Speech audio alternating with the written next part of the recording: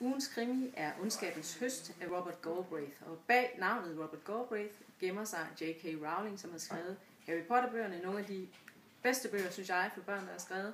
Og når hun skriver som Robert Galbraith, så gør hun det også rigtig godt.